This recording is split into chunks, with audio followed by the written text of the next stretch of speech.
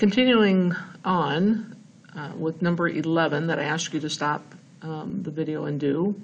Um, So when you work this all out, you should get an answer of y equals 6 fifths, negative 6 fifths x minus 3.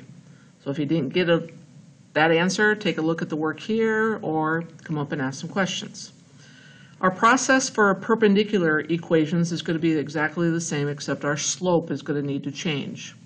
So when I look at an equation like this, I want to write another equation that's going to be perpendicular to this and go through this point. So the slope of this line is 3 fourths. The slope of a perpendicular line is going to be negative 4 thirds. Remember, it's the opposite sign reciprocal. So my new equation I'm going to write, this is the slope I want to use. So y minus negative 3 equals negative 4 thirds x, uh, parentheses, x minus 3.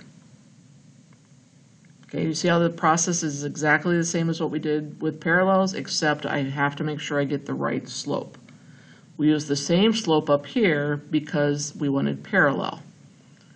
Perpendicular, we want the negative reciprocal. After that, my process will be the same.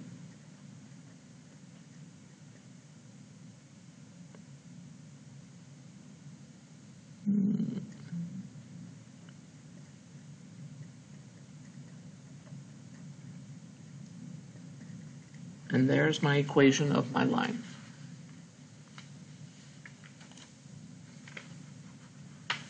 Okay, now I want you to stop the video and I want you to go to number 13 and number 14 and uh, just pause this and do those two and then I'll come back with the answers.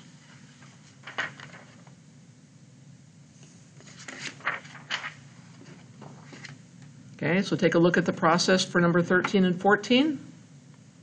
Again, I needed the slope of this one, so I had to change it to slope-intercept form.